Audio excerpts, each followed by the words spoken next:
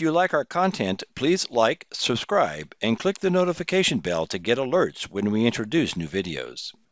So in this module we're now going to go through the installation, setup, configuration and provisioning of N plus 1 operation within the Ruckus IoT controller. N plus 1 is a feature that allows for larger networks to be deployed and to provide a primary and secondary IoT controller.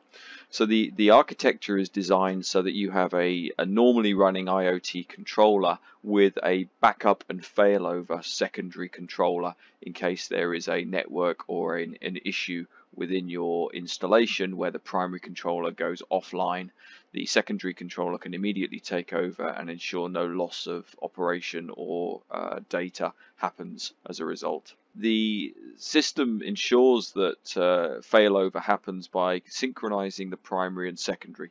So the, the primary controller is normally uh, taking all of the load and interface and configuration and management of the network with any changes made on the primary automatically duplicated into the secondary controller.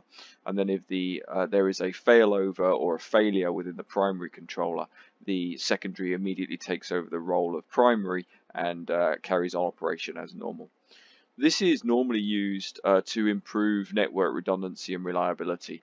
So it's it's ideally suited for applications where you have a large number of uh, IoT gateways or access points and you know, many Zigbee devices where it's much much easier to uh, to have the system fail over and provide redundancy than it is to go back in and reinstall and manually configure devices. So in this way, it ensures minimum downtime and ensures uh, maximum uh, reliability within the, uh, the deployed network. To deploy N plus 1, there are a couple of considerations and configuration options that need to be taken into account. If you look at the two major controllers, you have a primary and a secondary. So in the example configuration that we're going to run through, the primary controller is on IP address 192.168.111.51 and the secondary is on 5.2. So they, they do need to be on the same subnet network and directly able to communicate with each other at an SSH level so that the settings from one can be copied to the other. They also need to have se separate host names so in my configuration, I'm going to use Riot Primary and Riot Secondary. They also need to have their network clocks synchronized. So the, the two servers need to communicate reliably and regularly. So we need to either ensure that they have a local set network time that is very accurate or we need to synchronize them to an external network time server. So in, in this particular example, we're going to use a third-party Google time server. And then uh, additionally, the controller is also going to need a second IP address uh, or an IP port, which is used for the virtual machine communications between the primary and secondary. So in this particular case, we're going to use an IP address ending in 6.1. The other considerations to consider, as I mentioned, regarding IP addresses, network, and host names is that the two controllers need to be running the same IoT controller version. So uh, the primary and secondary, in our example, we're going to be running 151 IoT controller release, but this would be the same if whichever version you are, are running, you need to make sure they're both running the same uh, controller versions. And then finally, you need to make sure that the SSH connection for the IoT controllers is enabled. So this is a setting within the IoT controllers administration panel that you need to ensure that you have SSH enabled so that the two controllers can communicate with each other. Some deployments you may want to turn that off for security reasons, even though it is protected by a certificate and also via credential login. Uh, but in this situation, we will need to ensure that we have SSH enabled. So now we're going to spin up both of our IoT controllers. So we need a primary and a secondary. So the first one is on 192.168.111.51 and you can see this one has now booted up so we will bring up and install this one as normal and so this is exactly the same as any other installation of the IoT controller. So we've got a connection so we will accept that and we're just waiting for the services now to boot up and now we're back into our initialization. So within plus one there are some additional things that we need to set up to ensure stable operation. So the first thing we need to do is obviously go and configure our setup. So the first thing we need is different host names. So we're going to call this one Riot Primary, just for arbitrary sake. Uh, we need to set up our time zone again. So this is uh, Europe and London in my case. Uh, we also need to, because we're now setting up uh, n plus 1, they always need to be able to find each other. So we could use DHCP with static uh, configuration or we could just manually set the IP address. So we're going to manually set in this particular case. So if, because this is my primary, I'm going to use that IP address. We need to set the subnet, uh, gateway address, my case, and a DNS server. I'm using DNS relay, so I'll forward that in there. Okay, and then the last thing we must make sure we do is we have a synchronization of times between uh, both the controller, primary and secondary controller. So here we need to use uh, a, a, time sync or a network timing protocol sync source. So I'm going to use the Google Time Server. Uh, we could also use the Ruckus Time Server or any others. So it's really important that you get those three settings are correctly configured for, for the configuration for the options. Okay, so next thing we need to do is we need to define our password for our administration, and we're going to need to use this to configure the n plus one in the next step. So we're going to, this is our admin password. I'm going to set up my uh, username and password, as I've done here, and we can now save that. So now we can accept that configuration and uh, start the system to now reboot. So while that's rebooting, we'll now go ahead and do the same thing for the second IoT controller server which is going to be our secondary or our n plus one secondary server. So as before, we've now started up our second IoT controller. So you can see we have the MAC address here of ABAB02, and you can see it's now uh, listed uh, as VWrite. So we'll do exactly the same thing that we did for our primary now for our secondary. So we'll bring up another window, and we will now access that server, .111.52 for this server. And we just need to now wait for that to come up. Okay, and again, so we have our connection indication, so we now have access to our controller. So now, here we are, so this is our second IoT controller now uh, that we're going to configure as our N plus one secondary server, our backup server. So again, we can click through on the next. We need to now define the name, so as we did before, but we, again, we need to give it a different name because the two devices need to be able to communicate with each other. We need to set our IP addresses, our subnet, our gateway, and our DNS server. Uh, as before, we need to set up our time zone and we also need to set up our NTP. And again, we need to make sure these two are synchronized. So we need to use the same uh, NTP server that we used for the primary server. So I'm going to use the Google Time server. Again, so we hit next on that. We now need to enter our password. Now we can use a different password that we used on the other server. There's no reason why not, but in this particular case, I'm going to use the same and we can now go ahead and start. Obviously, we'll read our terms and conditions. Yes, that all looks fine, and we click accept on that. So while that server is now also rebooting, we'll now prepare, go back and start looking and preparing our configuration for our N plus one primary and secondary servers. Okay, so now both of our uh, primary and secondary uh, IoT controllers have rebooted, we can now go ahead and uh, onboard devices, sensors, etc. as needed. So what we'll do is we'll log in using the credentials that we created uh, at startup or when we were initializing. Now you can see here we're actually connected to our primary IoT controller. So this is the one on 192.168.111.51. Um, so this was our, our primary device and we can confirm that by going to administration and looking at the settings for this particular uh, particular device.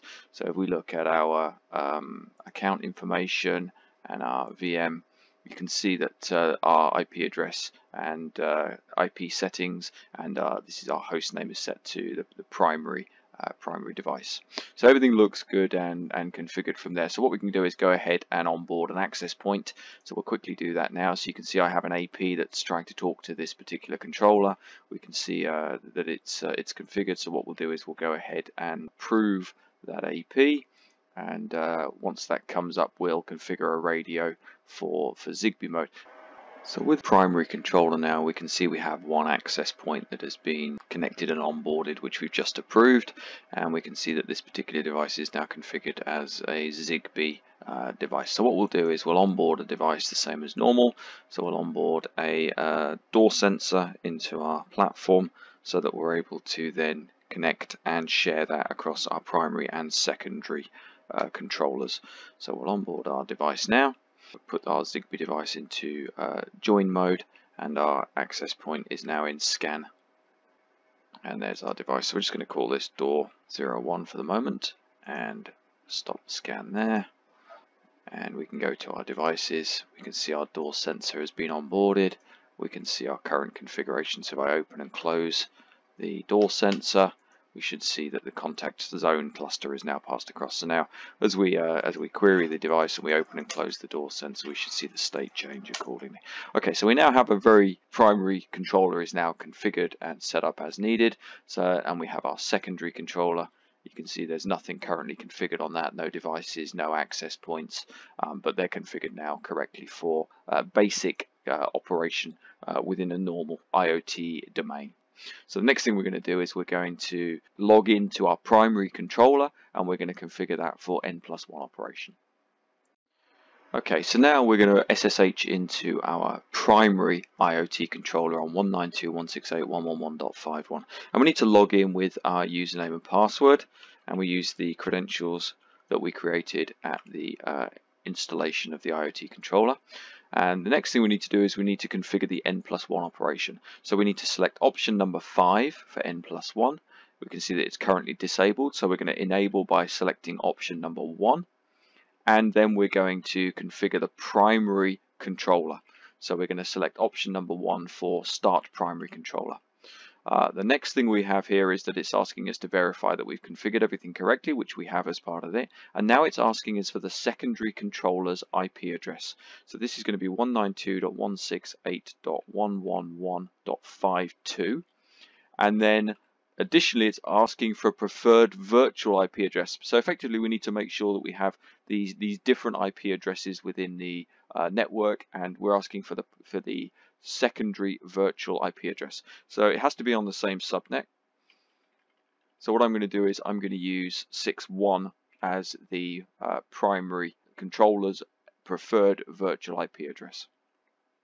Okay, so now it's going to say yes, we're going to stop and start the service. So yes, we are going to start the IoT uh, N plus one service on this controller. So this is going to take a little while to complete, so we'll uh, we'll just leave that to run and we'll accelerate that uh, so you can see what it looks like at the end. So here now we can see the system has correctly started and you can now see that the primary controller configuration started and also that the secondary controller configuration also started. So in this uh, setup the IoT controller, the primary controller, connected to the secondary controller and automatically started that service on the controller. So there is no additional configuration options needed on the secondary server implicitly within the build. Okay, so you can see after a few more minutes, you can see now that the configuration is completed. So the IoT controller has now completed its configuration of the N plus 1 setup and has configured both the primary, the secondary, and finished all of the information exchange needed between the two devices. So that now completes the initialization setup and provisioning of the N plus 1 between the primary and secondary controller. So again, we can hit return now, return back to our uh, main console, and hopefully now if we hit number 5, we should see that we have configured and set up the N plus 1 configuration and status. It tells us that the mode is enabled, the virtual IP address, the uh, active primary controller, which is the one which is the 5.1, the secondary on 5.2, and then the configuration sync controller is already active and uh, already operational. Everything looks so everything looks uh, operational expected. So what we can do now is we can go into our dashboard within the IoT controller and check that the dashboards are now correctly reporting the uh, IoT controllers are in the correct modes. So here now back at our primary controller, an IP address of 151, you can now see that the N plus 1 is reporting as enabled within the primary controller. So everything has started correctly, the service has been configured, and the IoT controller's primary has now been enabled with N plus 1 support. And again, if we switch over to the secondary controller now, so we can see 192.168.111.52, which is our secondary controller IP. Again, you can see N plus 1 has been enabled and started correctly. So the two IoT controllers now are communicating with each other and providing information to each other about how to configure and all the devices and all the gateways and all the time synchronization between the two controllers. And you can see after a period of time, when you try and log in or access the secondary controller, you get this screen telling you basically that there are no functions available. So as it stands, the secondary controller is now in a mode that uh, will not allow you to modify or configure anything. Everything has to be done through the primary uh, until the uh, until there is a failure, in which case the secondary will take over. So that completes our setup and configuration of N plus 1 for a primary and secondary server within the Ruckus IoT controller suite.